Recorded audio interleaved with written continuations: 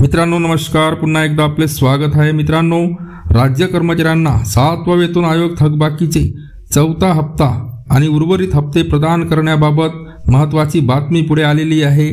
त्यामध्ये काय सविस्तर सांगितले आहे ते या व्हिडिओच्या माध्यमातून आपण बघणार आहोत. तत्पूर्वी आपणास नेहमीप्रमाणे विनंती राहील की व्हिडिओला लाईक करायला विसरू नका. मित्रांनो चॅनलवर नवीन असाल तर चॅनलला सुद्धा सबस्क्राईब करायला विसरू नका. चला तर पाहूया सविस्तर बातमी. राज्य कर्मचाऱ्यांना सातवा वेतन आयोग जानेवारी दोन हजार सोळा पासून लागू करण्यात आलेला आहे. परंतु सातवा वेतन आयोग प्रत्यक्षात जानेवारी दोन हजार एकोणीसपासून रोखीने लागू करण्यात आला आहे. सन दोन हजार सोळा ते दोन हजार एकोणीस या कालावधीमधील सातवा वेतन आयोगाची थकबाकी पुढील पाच वर्षामध्ये पाच समान हप्त्यांमध्ये अदा करण्याचे आदेश देण्यात आले आहेत. सातवा वेतन आयोगाचा पहिला हप्ता जून दोन हजार एकोणीसमध्ये अदा करण्यात आला आहे. तर दुसरा हप्ता जून दोन हजार वीसमध्ये अदा करण्यात आला आहे. थकबाकीचा तिसरा हप्ता जून दोन हजार एकवीसमध्ये अदा करणे प्रस्तावित होते.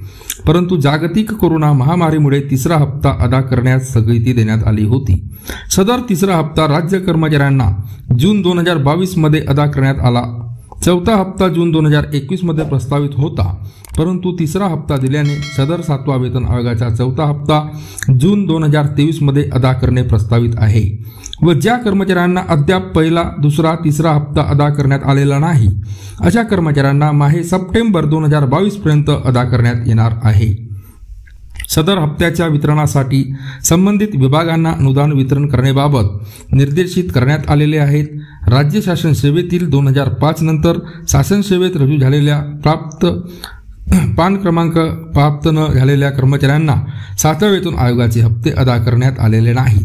अशा कर्मचाऱ्यांना सदर थकबाकी हप्ते अदा करण्याचे आदेश देण्यात आलेले आहेत. मित्रांनो पुन्हा भेटूया पुढच्या व्हिडिओमध्ये. नवीन अपडेटसोबत तोपर्यंत धन्यवाद.